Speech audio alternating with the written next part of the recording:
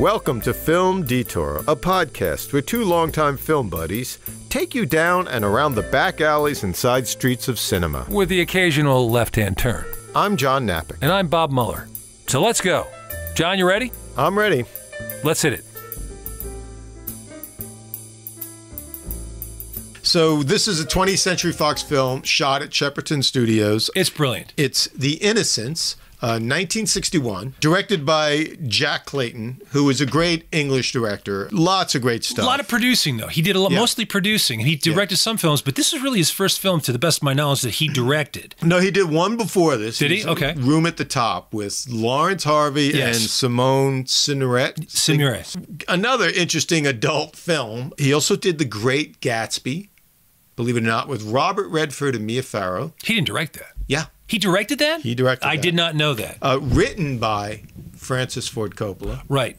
Coppola, and- Coppola said he used all the wrong lenses. he did, did say that. And, Because uh, it didn't go over very well. I mean, he did a lot of stuff. Another one he did. Something Wicked This Way Comes. Unfortunately, that's one of my favorite all time books. Yeah. Ray Bradbury. It's a magnificent book, but it just does not translate to the screen. I, I have to say Yeah. that Jason Robards is perfect. So this film does have a bunch of heavy hitters. I'll just start with cinematography. Freddie Francis. Mm-hmm. Freddie Francis. He was also a well known director. After a period of time, he became a director doing a lot of the Amicus films. Yeah, like some of his early films were Saturday Night and Sunday Morning. You ever see that? I did not see that. That's a great English kind of kitchen sink drama. He shot The Elephant Man.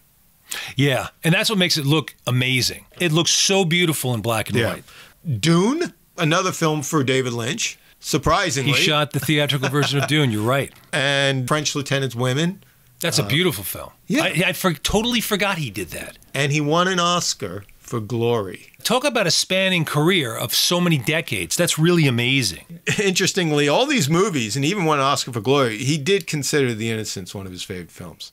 You take a look at this movie, every frame is beautiful. And I have to say that Jack Clayton's eye for setting shots up and moving the camera, oh my God. Yeah. So this guy produced a lot of stuff. And he certainly was keeping an eye on uh, what, what to do and how to do it. Yeah. But he did a beautiful job directing this. I mean, the original Henry story James. is from Henry James. Turn of the Screw. Turn of the Screw. Right. Jack Clayton read that as a as a young person and loved, always loved this story, always wanted to do it. So there must have been brewing in his head for a long time, but he totally nails it. So again, as we said, this is an adaptation of Turn of the Screw, written by William Archibald and Truman Capote. Wow, right? Like out of nowhere. And the interesting Um, thing is, and I, I, can't say, you know, I can't take a pair of tweezers and just go, okay, this was Capote's thing too. But there are certain eerie elements and some sorted elements that I have a funny feeling that Truman Capote had something to do with. Well, the original writer was William Archibald because he wrote a theater piece, a, a play, Okay. based on the, which was actually popular, I think, based on Turn of the Screw. But they brought in Capote, I think, because they needed help with the dialogue. When I think of Truman Capote, I automatically think of In Cold Blood. Right. And for a period of time, I lived out in rural Kansas. Yeah. And I, I made the mis- I made the mistake of, of, of, of watching that movie with my wife one night. We're out in the middle of nowhere, and I thought this is a really stupid idea. that is a scary movie. it's chilling. Yes. it's chilling, and and the way Capote can do that sort of thing with his writing, Right. he totally does it in this film. well, apparently he was writing the book at the same time, and he took a three week break to work on this film. You're kidding. Because he did work for years on that book. It wasn't like a quick thing. Sure. So it did happen simultaneously. Well, I'm telling you, the feeling I got watching Yeah. in Cold Blood, you get that same up the back of your neck, you know, Yeah. into your spine chills. Yeah. So let's just go uh, step back a little bit. The cinematography, Freddie Francis shot it. It's in CinemaScope. It's a widescreen black and white film. And Clayton's eye, Yeah. to fill up that scene, mise en scène, as the French say, Yes. every inch of that widescreen frame Yeah. is filled with stuff that should be there. And I've seen this movie several times. Yeah. And every time I watch it, John, I see more stuff. Yeah. And I feel more stuff and I hear more stuff. It's really, it's so, it's like an onion. It's multi layered. It's got stuff packed in this. Some of the night, certainly in the night scenes, they did want to close the frame in. So Freddie Francis hand painted the edges of the frame. The effect was it darkened the edges of the film, and you can see it in some night scenes. So that it's like they're surrounded by darkness in certain areas. And the music. The the music is by a French composer. His name is Georges Auric. He did Cocteau's Beauty and the Beast, and he did Wages of Fear and Moulin Rouge, just to name three. He had a long, long career, and and the the music is so haunting in this movie. We got we got Deborah Kerr. Such a great actress Yeah. in tons of films. We can't even begin to to name them all. But from here to eternity, Right. with Burt Lancaster, Right. Heaven knows, Mr. Allison, and uh, what else? Black Narcissus. It's a Michael Powell Right. Pressburger film. We have Peter Peter Wyngarde, who plays Peter Quint, Yes, which we'll get to as as as the time goes on. Martin Stephens as Miles. Oh The two- my God! Okay, so this movie has two young kids in it. I mean, really, I've I've never seen such incredible. Bill Mumy from uh, from Lost in Space and and and the Twilight Zone stuff. He was a kid who always could get under my skin. Right. These two kids are unbelievable. So as you said, Martin Stephens is Miles. Uh, I he didn't really have a big film career. The one film he did before this, Village of the Damned.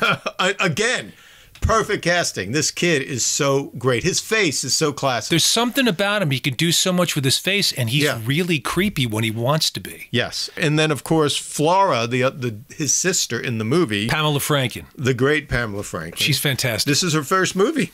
And she went on to some great films Prime of Miss Jean Brodie, and another great horror film she's in, The Legend of Hell House. yes. Roddy McDowall. Yeah. So the thing about Pamela Franklin is you will all of you will recognize her as an adult. This is her first role. She's a young kid. She was in a lot of TV. She was also. born to act because when you see her in this movie, Yeah. you can't believe these kids are acting. Mrs. Gross is Megs Jenkins, and she's terrific too. I mean, love Mrs. Gross in this movie. The word to use for this movie is subtlety. Just the way they shoot it, it takes place at this remote mansion out in the countryside. There's only four cast members, basically, uh, living cast members. The governess, Mrs. Uh, Miss Giddens, the housekeeper, Mrs. Gross. and the two children, Flora and Miles. Right. And um, That's pretty much it. Okay, so the movie starts out. Well, I, I, actually, before the movie starts out, you you have a black screen, and you have this little folk tune, "O Willow Will I," and it's this song about lost love. It just gets right under your skin. I saw this when I was about eight years old with my brother, and we were home by ourselves. My, my brother is not affected by horror movies. In fact, he says he even likes a good nightmare. So, you know, you have this black background and this little girl singing this song, and it's just haunting. I mean, as a kid, your ears just prick up and your, your, your attention's immediately grabbed. Yeah. and the singing kind of goes away and then you hear these natural sounds like birds chirping Birds chirping, exactly. kind of breeze and i think the effect of all this is to kind of isolate you one of the points of the movie is these people are isolated way out in the countryside this woman's praying what does she say All I want to do is save the children. and this is the whole Because the praying hands right now, we're in the midst of something Right. that's really not good. no So we're going back to the beginning. See, I'm just getting chills talking about this now, Joe, because this movie really got under my skin. and, and then we cut back to this wealthy bachelor The rich uncle who is, uh, he inherited them, quote unquote, two orphan children, he calls them. Yes. Uh, Miles and Flora. He's in the process of hiring a governess, and the person is Deborah Kerr, who, who is Miss Giddens. you can tell she's a spinster. She's older. She's not married. She's a parson's daughter, and she's quite taken by this this quintessential wealthy bachelor. You He's know, dashing. and he wants nothing to do with these kids. He's basically putting them in her hands and saying, "Do not contact me. You know, I want nothing to do with it. You're in charge." So he wants he wants her to to take care of these two kids uh, out at his uh, large country estate uh, because the previous governess has just recently died. So yeah, she's told about Miss Jessel, the governess has died, but she's also told not to broach this with the children. Especially Flora, the girl, because Yes. Flora is very attached to her. Yes. So she's to go off to this estate. It's called Bly. And to me, it's also a character in this film. The, the way this house is situated, it's just like out in the remote countryside. And if you can just imagine back in the 1800s, you're sent by horse drawn carriage out to the country. The middle of nowhere. The middle of nowhere, and it's just this. And this is a large estate, man. It's a creepy old mansion out in the middle of nowhere. And it has all these different corridors and these creepy twisted staircases that lead certain back ways to places. And and and it's it's all these once again these dark shadows. Kind of weird sculpture. The sculpture is very creepy. I, I want I want to comment on it a little bit later on, but I Yeah. yes, the the, the sculpture is unnerving and it's all over the place. And the point- inside the house Right. and on the grounds. So back to my point, this house just has a character of its own. Absolutely. And and when she first gets there, she she wants to walk. She gets she gets out of the coach and Right. says, "Can I please walk?" So she's walking around and she's got her you know her beautiful garments of the day, the big hoop skirt and whatnot. At one point, she's looking off. She's looking off this this beautiful lake, Yeah. and there there are lilies, uh, pond lilies and whatnot, and all this greenery around. And then you hear this little chilling sound. Uh, it's not quite a sound effect. I think it was more like music, but there's some f- foreboding quality to it. Yeah. And then you hear this woman's voice calling for this little girl's Flora, Flora, Flora. And, and you're thinking and you're thinking, well, who's calling this girl? So Yeah. suddenly this girl appears Yeah. in a reflection in the pool of water in the Yes. lake and it, it's it's kind of ghostly because you're, you're you're not seeing her straight on you're seeing her reflected in the pool of Yeah. water miss giddens says you must be flora and she says she says yes and she said i heard someone calling you Yes. and flora says no one was calling me right away you start to think there's something going on here Yeah. that nobody's telling anybody about certainly the kids are not telling the governess about So it's weird that she doesn't, Flora doesn't admit to hearing the voice because literally she was right there. So Miss Giddens and Flora walk back to the estate and they get to the house. And we meet Mrs. Gross, who's the we meet- housekeeper. she's she's the typical English kind of working class servant. She never really speaks above her station. She's always agreeable. Well, she has this quality, and it reminds me of the generation of, say, my parents and the and my grandparents. Yeah. You never really talk about things. Yeah. It wasn't right to talk about these things. You just don't bother with that. It'll all go away. And that's how Mrs. Gross is. Yeah. So we get to the house, and uh, right away, Miss Giddens is taken with the beauty of the house. Right. She even like it's like much better than she expected. I Right. think she even mentions. Right. And Flora is just the most charming little girl, like all creepy kids in horror films. Once again, Flora says something along the lines of Miles is coming. Miles is coming. And Miss Giddens looks at her and says, That's not really possible because he's at school. And Flora laughs and and as if she knows something that somebody else doesn't know. Shortly after that, here comes a letter in the mail to her, right. forwarded from the uncle who doesn't want to look at the piece of mail, just forwards it right to her. I have nothing to do with this. It's from Miles' school. Yes. And we see Flora smile as if she knows what's in the letter already. And Mrs. Miss Giddens opens up the letter and realizes that Miles has been expelled from school, that he is actually coming home. And we see a smile on Flora's face. Right. And Miss Giddens mm. looks to her and says, You said something about Yes. Miles coming home. Did you know something about this? And all she does is smile. Flora, Right. all Flora does is smile. And she's watching this butterfly flitting about. But what's really happening is a spider is eating the butterfly. She just says, It's a lovely spider and it's eating a butterfly.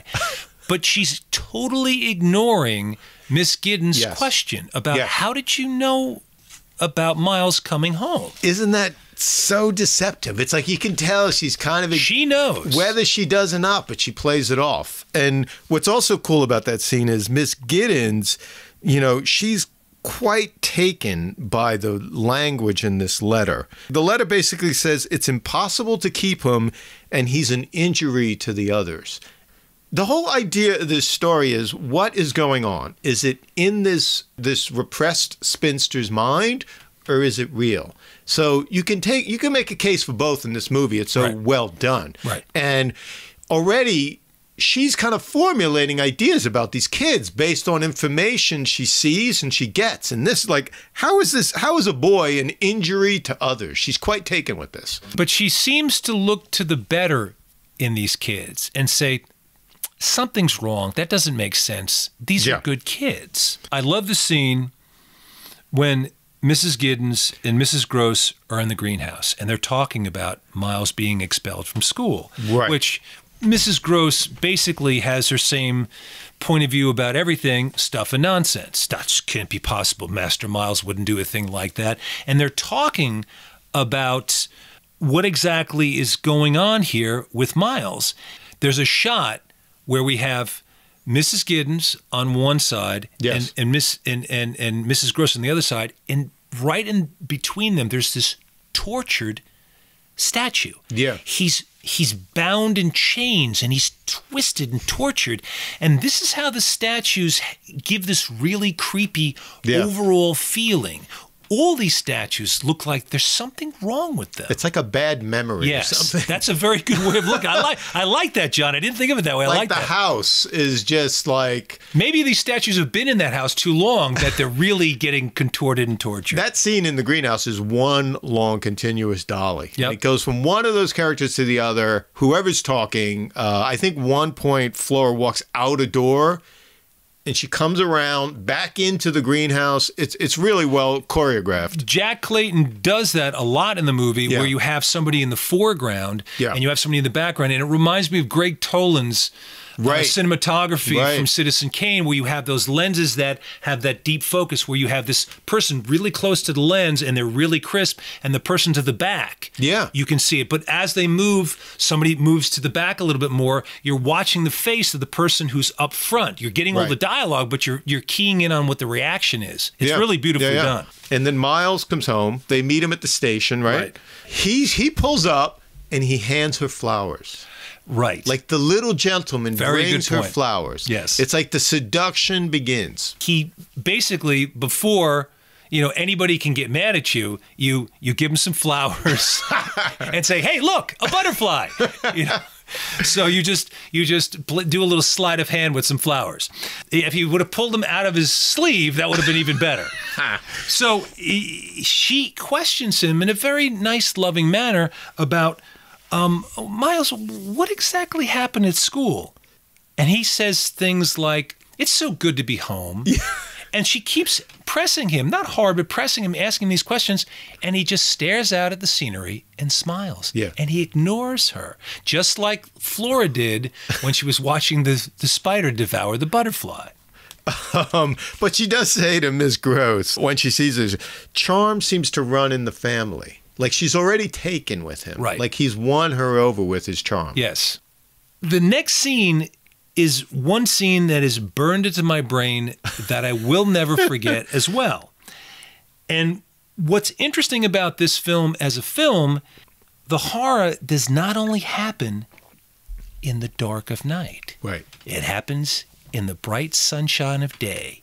Miss Giddens is out in the garden. I think she might be in the near the greenhouse She's or taking something. the she's out in the airs. garden. She's and walking, she's yeah. got some scissors. She's going to cut some flowers, and she looks up, and in the bright sunlight There's, like, glare. of day, there's glare that that comes down. So you're looking at the sun, and this this image of this person, this man walking.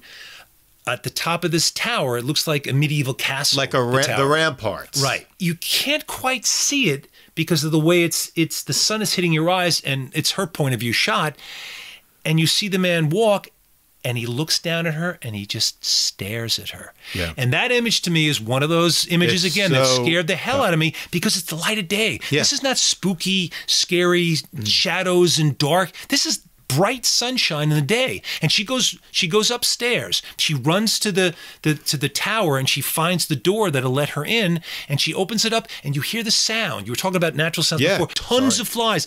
And what that what that conjured up in me is decay. Yeah. death. Right. You know, there, there, there, there are all these flies in this dead area. This, this room hasn't been open for a long time. What's going on here? And it's very creepy to have that feeling of those flies flying in around there. So it feels like death. Yeah. And then she goes up this stairway and makes her way up, makes her way up, makes her way up, and she opens the door to go outside to to this top of this tower, and she sees Miles, the boy. She runs around the tower because she's looking for this guy. Right. And th- she comes across Miles, who's sitting on the ground. And she says, Miles, who is that man up here? And he said, I've been quite alone. Yeah. Once again, the chills go up your spine because you go, no, Yeah. there was a guy there. Why are you lying about this? What? What? Well, who is this guy? I just had to go. The thing about the scene is, like, as you said, it's her point of view when she looks up at the tower. Yeah. The sun is in your eyes. Yeah. It's behind him, so Yeah. he's almost a shadow, Right, really. right.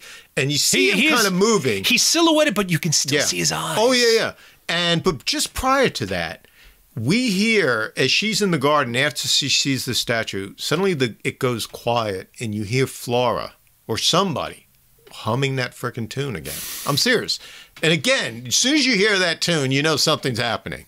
When she looks up at the tower, she kind of sees the guy and these birds, pigeons start fluttering. Yes. In slow motion, kind of and then she kind of closes It's her eyes. It's disorienting to her. Did she really see this thing? But she closes her eyes because the glare, and then when she opens them, he's gone. right.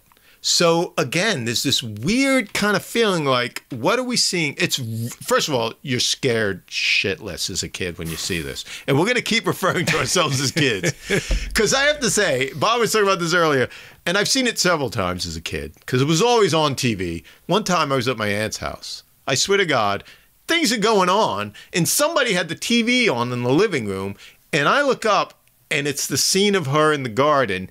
And Of course, it was that scene. it was just like it had to be that scene. there are images that stick with you. It just like froze me mid stride. I was like, who put that on? Like, turn that off. of all the TV shows to put on, It's like in the middle of the day. Yeah. I don't want to see this right now. ever again.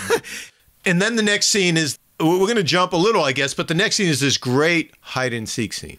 The kids want to play hide and seek, and they're going to run off first. So she goes roaming the house looking for these kids. Again, it's a great sequence because you do get to see the house. Like, I don't know how many sets they built, but she is basically all these beautiful little hallways and nooks. She's looking here or there. And suddenly she gets to this hallway and it's dark at the end of the hallway. And she's walking down and she suddenly stops. Things go quiet and she looks. You kind of see the shadow across the hallway at the very end of the hallway. It's kind of like a woman with an outline of a dress, but you don't quite With the see it. same kind of that that hoop dress of the time. Yeah. And she's all dressed in black. and she just kind of floats across the hallway. Across the hallway, and then she's gone. The and she's gone. And you cut back. It's a really wonderfully edited sequence. As in everything in this movie, it's not like they throw it in your face. Like it's a quick shot, and then you cut back to her face, and then you see it again, and you cut back to her. And it's almost like But she's, yourself. but you're she's, like, it's not like a ghost per se because it's No. three dimensional. It just looks like a person just floated across the hallway. but it's in shadow. And and then by the time you cut back to her, it's so fast. You you you're questioning. She's yourself. not even. She's not even sure. Yeah, Yeah. you're like, what did I just see? Then she ends up in the attic because she hears laughter up there. Right. Of She- course, when she opens the door, she has to see this little kind of wobbly, a, a bobblehead clown, Yes. tick tocking back and forth. I mean, it felt very Twilight Zone when I saw that. And of course, when I see a, a clown in an attic, Yeah. I'm going to stay, no, right? No. it's nodding its head, clicking back and forth. I'm gone. So she starts creeping around this this attic because she's heard voices. She thinks it's the kids, mm-hmm. and she comes across this little chest, right, and a mm-hmm. music box, and she opens the music box. Well, she knocks it. She knocks it off onto the floor Oh. by accident. and is that we hear the tune then? Yes. That- then so then, then the music box engages. And this is the tune we've been hearing, Flora hum, and we heard at the beginning. and inside the music box Very important. is a photograph, and, and the glass is broken across the face. and we kind of see this face. I always thought he looked like Anthony Quinn, a young Anthony Quinn, but it's this little portrait of this guy. I'm just going to say this is important that she sees this photo. Why is it important, John? We'll talk about it later on. So suddenly, Miles behind her out of the attic, he just comes running up on her. Right. He surprises her, Right. and he grabs her around the neck, and he's like a little. You're my prisoner. You're my says. prisoner. And he's like so excited. He's like happy. He's laughing. And like little kids, they get carried away.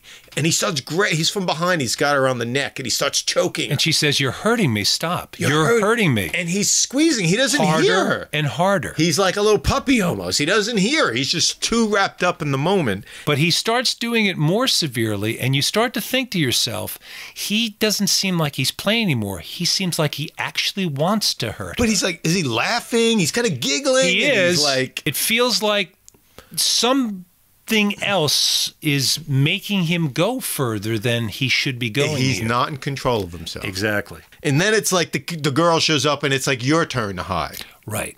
She just gets taken up by these kids again. Like, oh, She okay. should be really disturbed. She should probably get in the carriage and go home because this guy, the, the little boy, was really hurting her. He Yeah. could have even strangled her. But it's like she should have been an adult too, and kind of like That's put the enough. brake on it. That's enough But for sh- now. they like kind of their charm. They work on her, and they're like, now it's your turn. You go hide. Okay, I'll go play too. Yeah, and she goes running off. Like you could see, almost like a little girl. It's almost like she's been so cloistered her whole life. She's never really. That's a good point, John, because that's right. Because now she's having a chance to just kind of just have reckless abandon. Yeah, She can just go She's play with the never had that opportunity before, and so she goes running off She goes down to basically the living room. There are many living, but like a parlor. I Yeah. think it's a parlor. So they go. She goes down there and she's going to hide behind the curtains. Yes. but she sees her feet sticking out, so she Beautiful. I just have to say that one shot. She looks down and she sees her own feet coming out of the curtains. Just a little detail of that shot to think of it. yes. So she sees her feet and she tucks them back in and gets behind these long curtains. The way it's framed, the, you have all this frame to work with. So Yeah. she's behind the curtain, she's to the right of the frame, and then there's a space between the, the curtains where you can see outside. And we see this statue. He's Pan or a Yeah. satyr or something. Yeah, yeah. So he's going to get the little horn. So you know he's got a mischievous quality to him. And mostly it's dark shadows outside. Yeah. And from the dark shadows, and this is amazingly done. I just got the chills up my spine again. the, these, this, it, from out of the dark shadows, in floats into the light outside the face of this man, the man we just saw in the photograph. Yeah. You know, not like boo ghost type. He floats straight up, and you just catch his face in the light. It's so Yeah. well timed and put together, and he starts coming toward the window. And she mm-hmm. catches the attention out of her peripheral vision. Yeah. And he comes closer and closer and closer. It's terrifying. And her reaction, she sees it and it's just like Abject terror. She just goes white. And what's interesting is the lighting on her yes, yes, yes, yes. suddenly dimmed. Like she's caught in this he nightmare. removes the light from It- her good face. Good point. Really nice. He overtakes it. Yes. he like takes all the light out of the scene. Absolutely. He's No right next to the glass. Special, no special effects. I think that's why it works so well. and her acting because you feel the terror. I Yeah. mean, the way it's set up for this guy Oh, coming yeah. close, and this guy, and they, she's only We got. see it's the she- same guy, Same guy. is the guy in the photo. and he, and right now at this point, he's so close to the glass. She's close enough to the glass. She's got uh, what a quarter of an inch of glass. Yeah. an eighth of an inch of glass to separate her from this phantom, from this man, from this figure. And what's creepy about him is, in this shot here, especially, he looks like every picture I can think of of Lucifer. he has those angular cheekbones and Yeah. that angular nose and this. This, the tone of his face Yeah. looks like it could be red because He's got like a beard, like a little bit of a beard, and you can tell he's not like a, a wealthy guy or whatever. He's like a there, again. There's a class thing going on in this film. It's not overt, but he's clearly not upper class. And the sound suddenly drops, and you just hear his breathing. It's like this demonic breathing, and then what happens? He just disappears in the blackness. No And- expression change, nothing. and I mentioned this earlier. I just want to say this. Then when she's in the attic and she sees the photo, right? Because you never know who he is until she sees that photo. Mm-hmm. Right. So again, it's this whole play between what's going on. Is it in her mind? But we see it. It's not like a fake And, ghost. it, and you could say, gee, is it in her mind? Because It could be. You just saw that photograph. Yeah. And it could be creepy because the creepy statues and the lighting. and Maybe she's just imagining this thing. So Miss Giddens confronts Mrs. Gross about the man she's seen, and Mrs. Gross says that the man that she describes uh, sounds like the master's valet, but but but he's dead.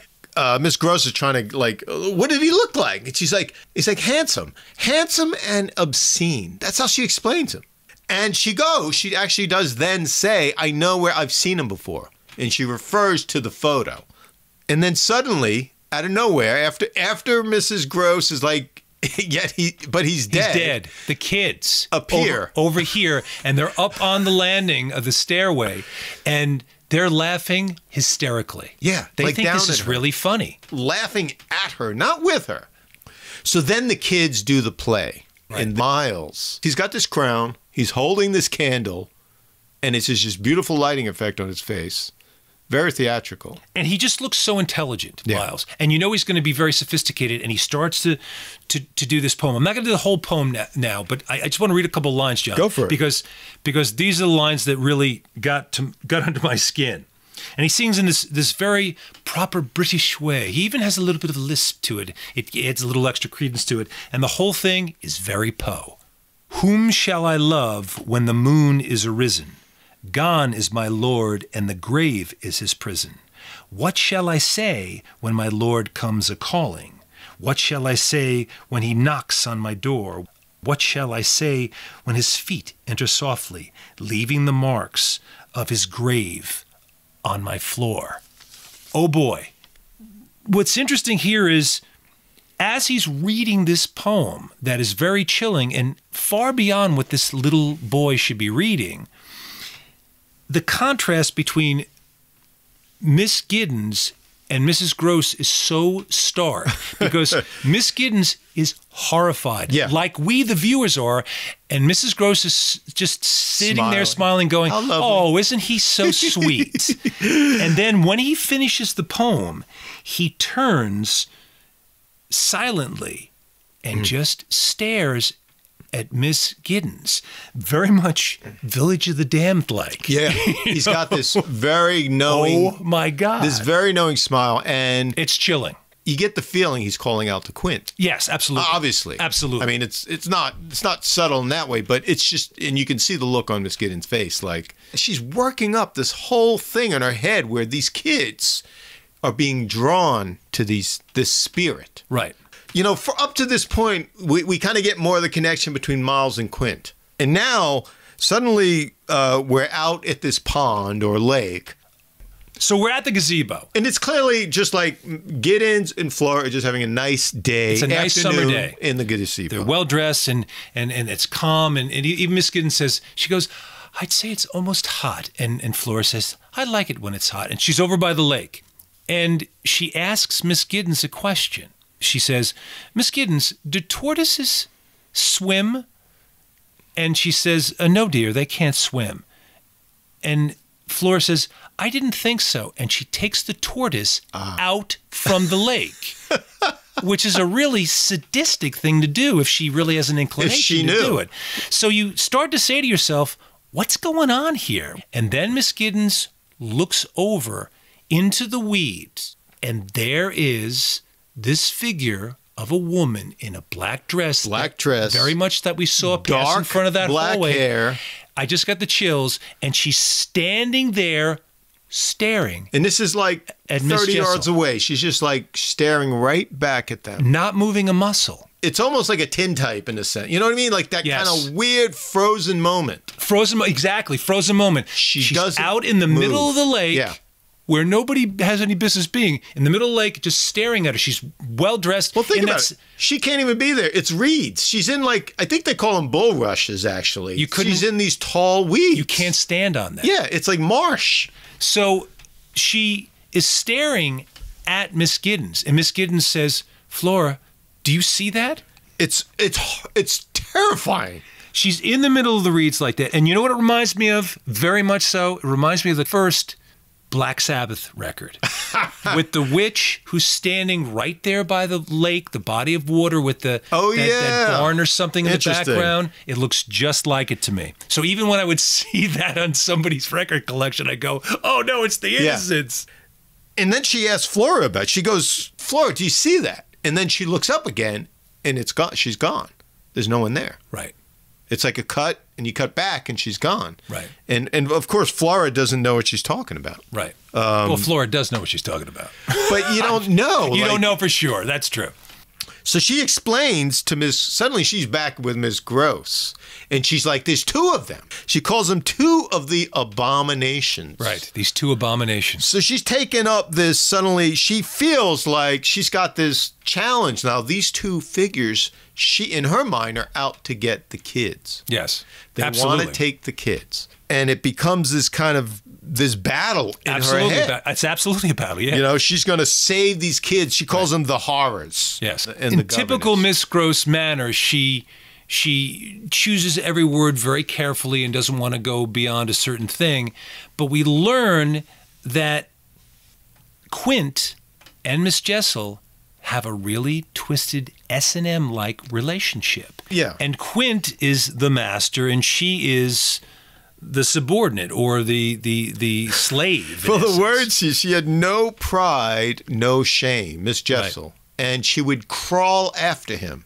Think about that. Like, and he would hit her sometimes and it wasn't like she was hurt by it she actually was yearning for the weight of his hand so they had this twisted relationship that miss mrs grose doesn't really want to talk about and it, this only disturbs even more miss giddens and the other thing that mrs uh, grose says is that they were doing things in the light of day in rooms that were meant for nighttime in a bedroom. she says, used by daylight as if they were dark woods. What an image. How creepy is that? And the children were watching this. The children are mimicking the things. So what's going on between the brother and sister? Yeah. Are they mimicking this sort of stuff? Well, it's funny, Miss Giddens, who's so horrified, she's like, they didn't care that you saw them? Like, No. and she's like, and the children? Yes. Like she can't believe No. this. I just have to say that scene ends kind of with Miss Grose, a beautiful line. There were too many whispers in this house. And that's what it's all about. And the whispers still go on. Yeah, the kids, you kind of get the sense the kids have this secret going on. Absolutely. They're not letting Miss Giddens in on it, obviously. She doesn't, they're keeping her away. There's a sequence at night. It's very dark. She has candlestick and she's walking through the hallway. She was looking for Flora because Flora had disappeared, I believe. That's what it was. Well, she wakes up and, and Flora is not there Right. in the bed. And she makes her way out to find out where Flora is. Yeah. And as she's walking around, we hear once again the sound design is amazing. look at the frame, and this is one of those scenes where you see this effect where they did darken around her. It's almost like a vignette around her. It's a similar way that they used to do the matte paintings Yeah. directly on glass. Exactly. And they would block out the frame. They would Yeah. frame it with those the, And they- those pieces. the candles they they put five wicks in each candle To to, really throw enough light, and it's not like uh, Barry Lyndon where they're just lighting it by candlelight. They didn't have quite have that technology with lenses, but the beautiful way the the, the lighting is in these scenes, In you can see how they lit these hallways to make it look like it's just candlelight. But that's brilliant because It's you're getting, really you're well done. using the light from the candlelight, Yeah. and you still get that flickering, like you said, fl- flickering candle thing. And she's making her way around, and the sound design is so beautiful, and and and, and gets underneath your skin because. All these sounds are being heard. All these revelations about Quint and Miss Jessel. The children are watching. The children are watching. And you get that Quint is up to whatever sexual escapades he is with the doors open. And Miss Jessel's not too cool about it. The children Right. are watching. The children, and she says it enough times to say that Quint is just going at it and doing what he wants to do anyway. It's so creepy, John, because you have all these dark hallways Yeah. and these doors, and some open and some don't. But the voices are there. The voices are there. The voices are here. The voices are there. It's almost like they had, you know, quadraphonic sound or something. You know, it's really incredible. And so she finally gets back to the bedroom after not finding Flora, and there's Flora, Flora's there at the window at the window. Again, where we saw her earlier, Looking movie, down into the looking garden. down into the garden, Right. and and Miss Giddens runs up there, and and finally we see what she's looking at, Right. and there's Miles down in the garden, just looking up, And where's he looking? She looks where he's looking. It's almost Right. like a Hitchcock scene. Right. Like action, reaction. Right, right. And she looks up and he's looking at the tower. in the garden there, there's a statue, and it's of a couple embracing. It looks kind of like Yeah. Rodin's The Kiss. Right. So there's something tied to this garden and romance and other things that these kids are fascinated by. Yeah. Is that the place where they meet, you know, Miss Jessel and and Quint, uh, their spirits or something? Yeah, yeah. That's the way I looked at it. At Yeah, least, yeah. You know? So she hustles Miles back to his bed. Right. The Uh, really disturbing part of this scene for me was it's time for Mrs. Gid- Miss Giddens to just basically tuck him in, and that's that. Miles says to her, Kiss me goodnight. And he reaches around her in this romantic, adult manner, Yep. grabs her behind the neck, and pushes their faces together, and he kisses her really hard on the mouth. And you think, what the heck is that? And he's pressing against Oh, her yeah. lips. And you can see by her eyes. She's trying to pull away. She's but like he won't let shocked. And it seems like he has more strength than this little boy does, because and I and and that's what we're getting at here. She finally pulls him away and he lays back on the pillow and he just gives her this He smiles. knowing smile Right. at her. Like he knows. Right. It's a very strange He knows scene. that she knows that she was disturbed by that. and again, he's like 11. It's like the the dawn of puberty. Mm-hmm. Yeah, like the kids way he test things. the way he and- presses himself and does not let go, and her horror Yeah. is is really really telling. I don't think they had much of a rating system back then, but no, seriously, that scene caused this film in Britain to have an X rating. That's interesting because it's a very disturbing scene to see a Just little boy scene. kiss a, a, An a woman on the mouth, like and that. it's all about his intention, right? I mean, Yes. kids, parents kiss their kids on the mouth or whatever, but the intention in this is just so. pure sexuality. Wow. it was a sexual intent, no doubt about it. There is a lot going on in this movie. I just have to tell you. And But it- it's the influence of Quint. yeah, It's Quint's way of, of just getting under her skin. Yep. And he's using the boy to do it. And then the next thing is this uh, scene where Miles is playing the piano, and he's he's kind of distracting Miss Giddens, and then she looks. Suddenly, Flora's gone. And we find her at the gazebo again. So she's alarmed. She goes looking for Flora, and there she is by the gazebo. and she's dancing to the music box. And of course, the rain's What are you coming doing down here? by then. What are you doing here? What are you doing I always here? come here to dance, to be alone. And what happens? She looks across the Miss Giddens, and you look across, and, And you there's Miss figure. Jessel in the middle of the weeds with her black dress standing. Even spookier because you're staring at her. looking through the raindrops. And this rain is coming down. It's and like a she's curtain. not moving a muscle. Oh she's just standing there like a statue and staring at. you Miss know, I'm at the bus stop in the rain. I can't, I can't move enough to get away from the raindrops. She's just dead still. Yeah, she's dead still. All right.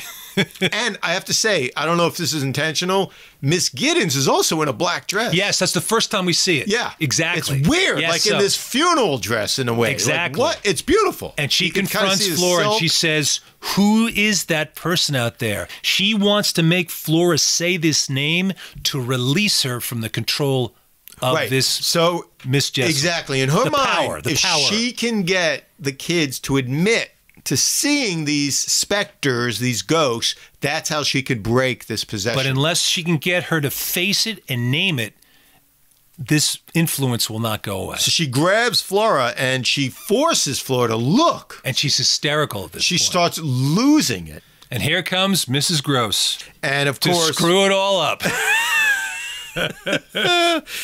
let's just let's not talk about it.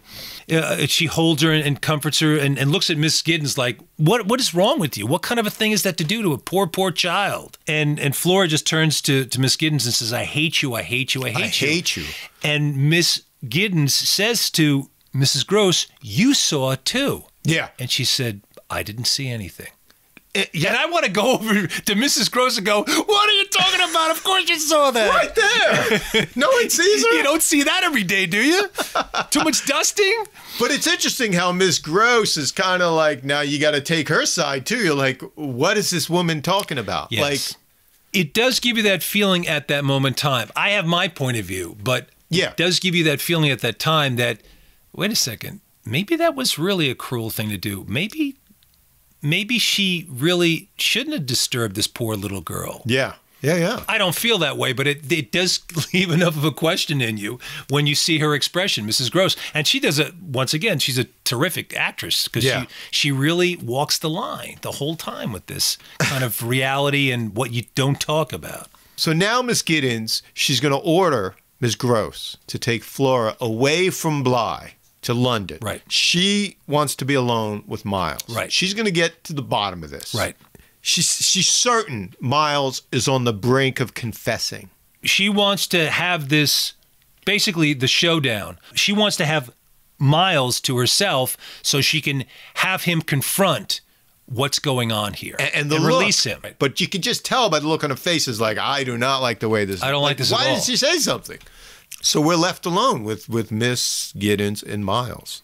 And then we have that scene in the greenhouse where uh, they're talking at night and she questions him, "Why were you expelled from school?" Well, to her, that's What like exactly- the kernel of a lot of things. Like what went on at school? She's she just wants to know. Go ahead. he gets pressed and goes back and forth, and his voice changes. I don't mean the actual voice itself, but the way the words are phrased and come out of his mouth, they they change at different points in the sequence. Sometimes he really sounds like an adult, and he has a very sophisticated, snooty manner. Right, right. And other times he's just a little boy. So you can feel the pull of this spirit of Quint in him pushing back, Yeah. pushing back. And finally, she gets Miles to admit that he said things, probably in Quint's words, and hurt things like something Quint might hurt at the school, and that it disturbed and frightened the other boys.